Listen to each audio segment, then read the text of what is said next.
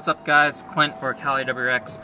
This will be a full walk around slash review of my interior setup of the Sparco Evo seats with the Sparco 4-point harnesses and the Sparco harness bar that I have. So let's get right into it and we'll start out in the back of the car. Alright, so in the back we have the Sparco harness bar that I bought off eBay for $200 it's a long story. Sparco does not make these anymore, so the only place you're going to find them is eBay or Craigslist or used from other people. So I painted it myself with about four coats of white primer, five to six coats of lime green, and then two coats of a gloss clear coat. And this is how it turned out. So bolts in right here. Unfortunately, you can't use the seatbelt covers unless you want to cut it. I did not want to do that, so I just left mine off. As you can see, it bolts into the factory seatbelt with the seatbelt, or and the seatbelt can still work. It goes also to the bottom of the B pillar down there and mounts all the way across like so. For the harnesses, I rolled them up and then zip tied them because they're really long and just hang, which is extremely annoying for the passengers in the back. But I know some of you have asked, specifically WRX Nate, about what it's like to sit back here. I am sitting, and as you can see, it's maybe two feet in front of my chest. Um, your head will probably hit it most likely if we got into a serious accident. So it is not extremely safe to sit back here, but it is doable for around town. I probably won't put people in the back, or I probably will not put people in the back when I do canyon runs, stuff like that. Um, one thing you do have to note is that the only way the back seats will go down is if you take out the headrest or else the headrest will hit here. So that's why I have this one undone already, as you can see, but I still have this one on because just in case I do need a passenger. Now that's about it for the back. As you can see, I put the seat belts behind the seats and a four pawl sticker just because I had that laying around. I took the seat belts and put them behind because I do not want the annoying seatbelt chime. There is a trick where you do it 30 times in 20 seconds or something like that, or like 20 times in 30 seconds to get the seatbelt chime to go away. But I thought this was just the easiest fix. So I did that for both sides, and I specifically left them in so in case I do need to use the stock seatbelt, it's right there. But further behind, that's about it. So we're to go ahead and move up to the passenger side seat. So see you in a bit. So we're to start out with the harnesses on this side. As you can see, there are padding or pads here because the girlfriend wanted them, so she gets what she wants. The belts themselves are 3 inch in the shoulder and 2 inch for the lap belt. It's a 4 point lock style with a cam lock. So to undo it, what you got to do is, I'm just to put this one in, which is hard with one hand, like so. It's locked in. To undo it, you just flip it and it comes right out. So very easy to adjust. There's one cable on this side that you pull or loosen, one on this side, and then these two to tighten. But overall, really good quality, easy to install. Um, one thing you do have to note is that the little O bolt, don't know if you guys can see it, which is right here. It's bigger than the stock factory one, so you're to have to re-tap a hole or find a smaller O-bolt to fit actually in there. So that's just something you have to look out for. But that's about it for the harnesses. They really hold you in place. I really like them. They don't actually take that long to install. I mean, sorry, to put on. It took me, I want to say 13 seconds or less to do it as my fastest time. So what I just do is let the car warm up a little, plug them in, and we're good to go. But let's move on to the seats. This is the Sparco Evo with Grip Tech technology, whatever you want to call it. So there's the little grip right here for the shoulders and for your butt. I think it works well. It's very snug, but there is different sizes. There's the Evo 2, which is a little taller and also much bigger in here for your waist. And then I believe there's an Evo 3, which means it's probably even taller and even bigger here. I'm 5'10", waist size 32, 33, 170-ish pounds and these fit me perfectly. There's a little wiggle room, like a little, but not super much. I know some people complain about how snug they are, but personally, it doesn't bother me for daily driving at all. Um, so, the seats themselves are on planted base technologies, which is the bottom bracket, Sparco side mounts, and then a Sparco slider, which is right here, and then mounted to the Sparco Evo seat. They do sit a little lower than stock, but not a whole lot. I'm sure if I got rid of the slider bar, I could sit it much lower. As you can see, there's still one little space. It could go down in the front and the back, but the reason I can't do that is because then it'll be sitting right on top of the slider bar, and that won't work, basically. So, yeah.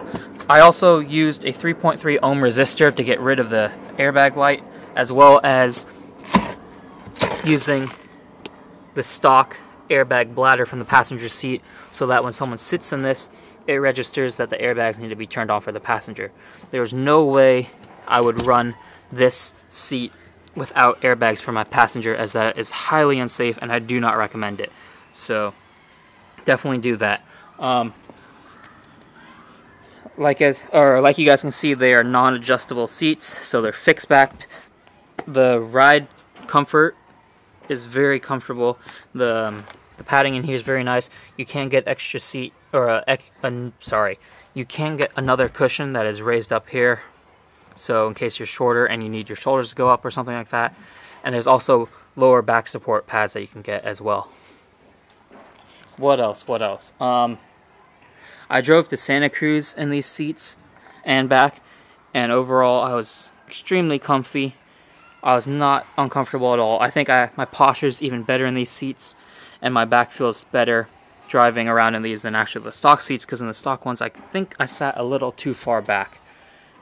Now, one thing to notice is I have this seat and my seat in front of the B pillar, because if you slide this back, as you can see, it sticks out past the B pillar.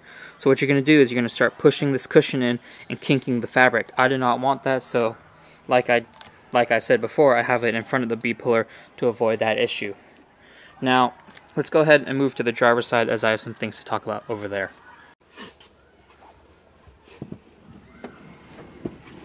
Okay, really overexposed. Hang on, guys. Now, as you may or may not have just seen, it is a little hard to get in with this size wheel because this stock wheel is the size of a pizza dish and it's insanely big. So I definitely recommend a D-shaped wheel or a quick release wheel to make getting in and out of these seats a little easier. Now, also one thing to note is if you're wearing a puffier jacket, say, getting the lap belt on will be harder because it's going to be tighter. Personally, I never really liked wearing zip-up jackets when I drove around, but definitely in this seat because it hugs you so much right here at the shoulders and down at the waist.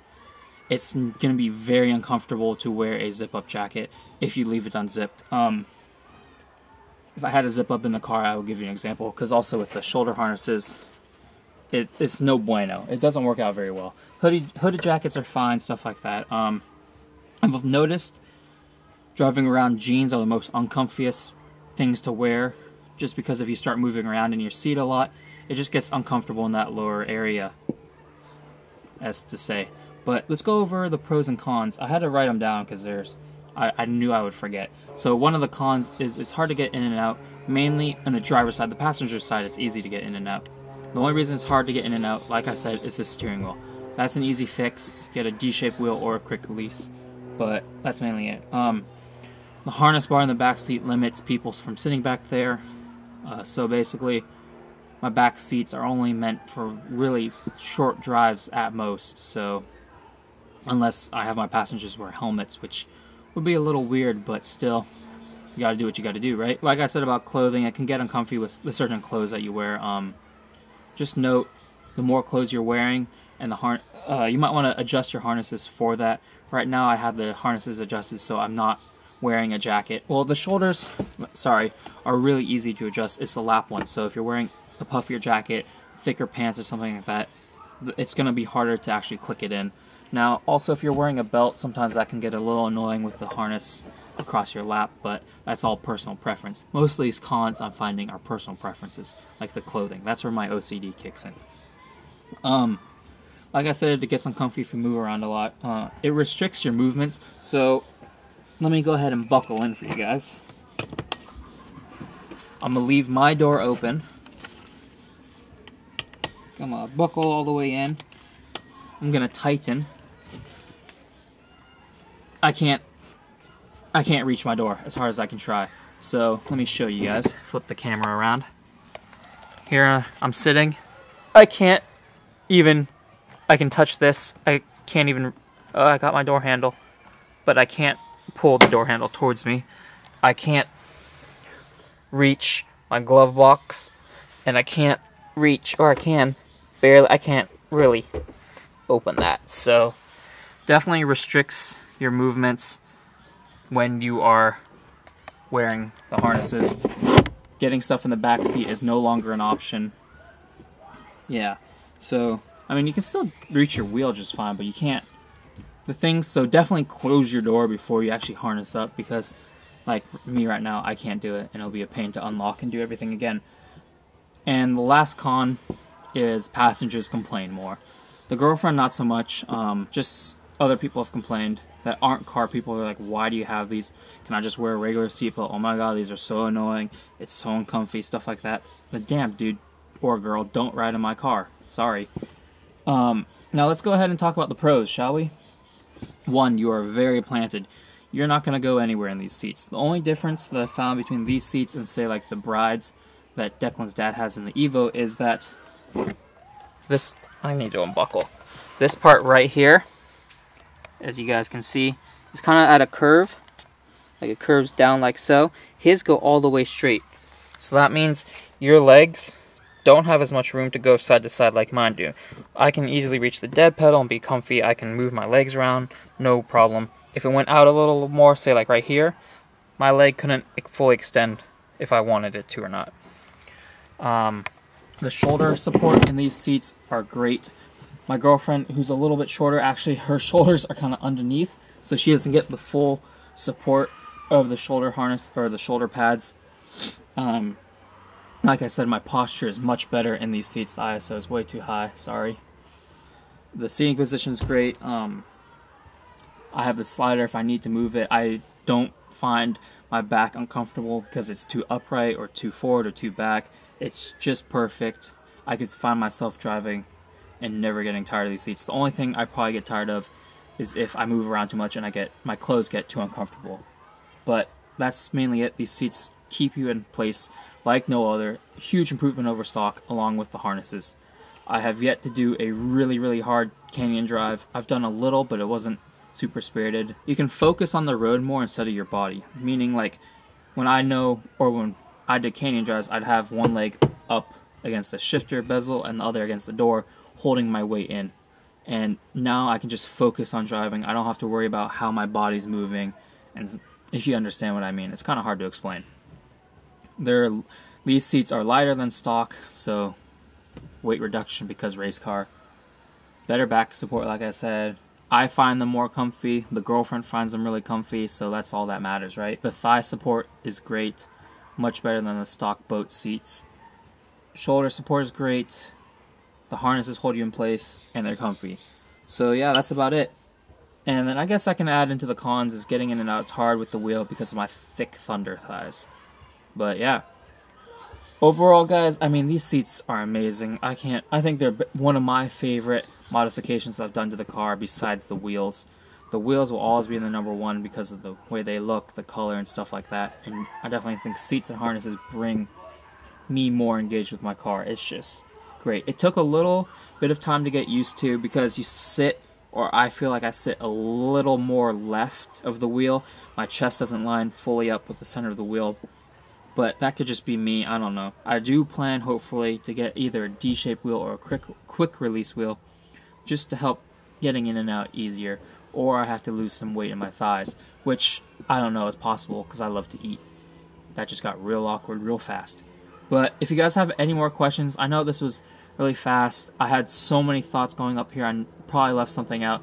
Go ahead and ask it down in the questions down below. I will um, answer them to the best of my ability. I know someone's going to ask me about price, and I'm going to say I got an amazing deal on the harnesses, the seats, the base, the side mounts, the slider bar, and the brackets. I got it all for $2,500. I I don't know how much it would be if I didn't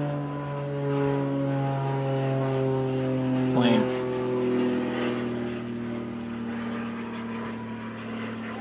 Okay, I got them for twenty five hundred dollars. I don't know how much it. I think it would have been maybe closer to three three or three hundred three thousand dollars without the deal. Um, don't quote me on that. You'll have to look it up. But oh yeah, that's also um, with the harness bar. So harness bar seats, um, harnesses, all the stuff you need to mount the seat on, and all the hardware. But no labor included in that because Adam did this for free. So I got a super amazing deal. I couldn't pass it up. And Stay tuned for the next video, guys, because these suckers are in. The gauges are finally in, but I've noticed when I film them, they flash just because of the way the camera picks them up. So I'm going to have to figure a way where they don't flash. But, anyways, guys, till next time, this has been a quick video, quick review. I know I probably left some stuff out. If I did, comment down below and I will answer all your questions. Like, subscribe, peace out.